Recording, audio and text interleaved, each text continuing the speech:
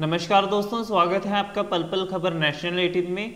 France से भारत पहुँचे rifle की पांचवी खेप, तय किया 8000 किलोमीटर का नॉन स्टॉप सफ़र। हाईकोर्ट की केंद्र सरकार को लताड़, भूख मांगी है, चोरी कीजिए, अस्पतालों को ऑक्सीजन की आपूर्ति कीजिए।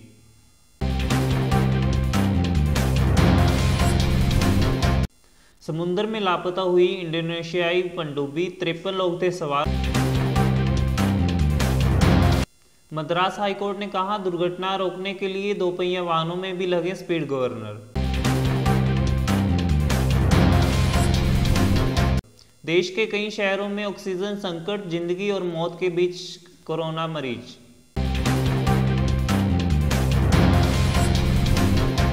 ऑक्सीजन की किल्लत दूर करने को केंद्र ने बनाया प्लान, वायुसेना की ले सकते हैं मदद। हरियाणा के जींद ज़िले में 1710 कोरोना वैक्सीन डोज चोरी, अलमारी में कुछ फाइलें भी चोरी।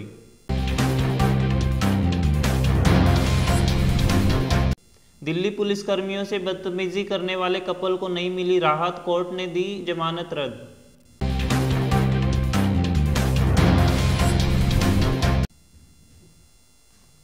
कांग्रेस नेता अशोक कुमार वालिया का निधन, कोरोना वायरस से संक्रमित। बंगाल में छठे चरण का मतदान जारी सुबह नौ बजकर तीस मिनट पर सत्रह पॉइंट उन्नीस परसेंट वोटिंग